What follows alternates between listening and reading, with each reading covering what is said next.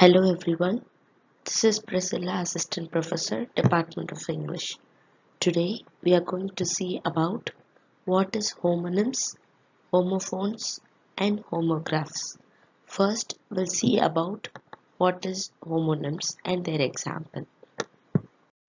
The definition of homonyms is each of two or more words having the same spelling and or pronunciation but different meanings or origins. For example, crane, crane.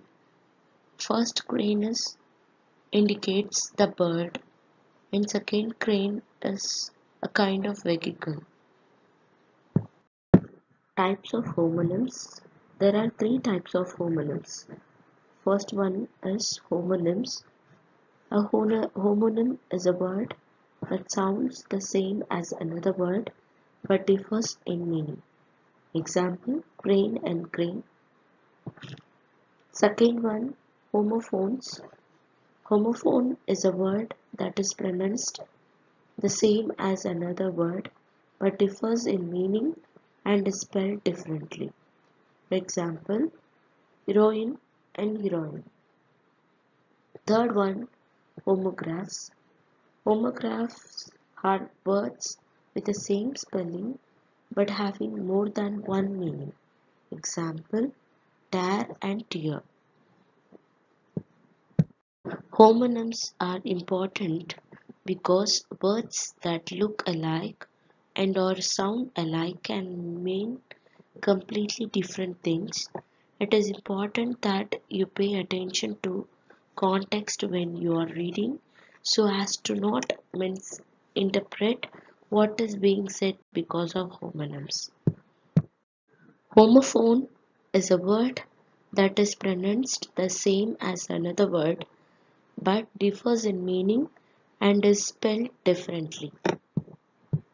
Examples for homophones They are going to their house because you are not there. So here the word they are there and there. Is more or less similar in pronunciation but differs in meaning also differs in spelling. So these are the few examples for homophones. Homophones are important because they can confuse other people if they are not being used correctly. An important thing to make sure to pay attention to is that spell check does not pick up on homophones. This means that you will not be told if you used the wrong word because there is not a spelling mistake. Third one is homographs. Homographs are having two or more words that are spelled the same but have different meanings and are often pronounced differently. Examples for homographs is first one bass as a in musical instrument bass as in fish. Second one das as in deer does as in do third one bow as in bending bow as in bow tie homographs are not immediately recognized you have to use context in order to figure out which word to put in the sentence since they are spelled the same. Homographs does not cause spelling errors but causes problem for speakers not knowing the pronunciation of a word. Let us see the conclusion.